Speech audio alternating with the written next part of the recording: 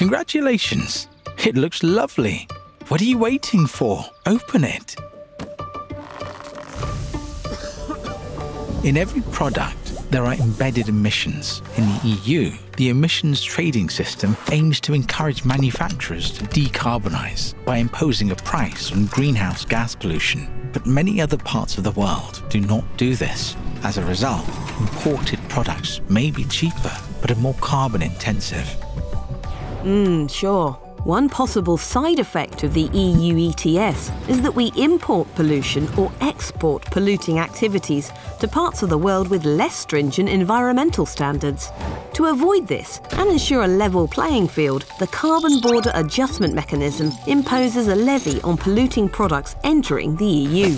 If a product already pays a fair carbon price for its pollution at home, it will not need to pay the CBAM, if a fair carbon price is not imposed on a product at home, then its importer will need to pay for CBAM allowances in the EU.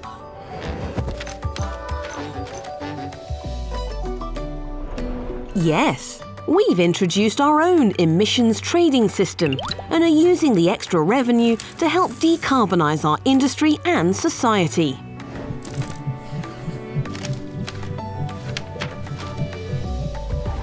To continue to export to Europe without paying a significant surcharge for our pollution, we decided to keep the money in-house and invest in cleaner, greener manufacturing processes.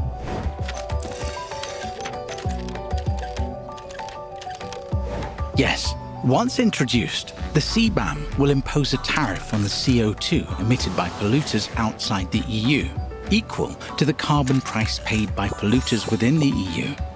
The system currently allows EU industries an exemption from paying for all their greenhouse gas pollution.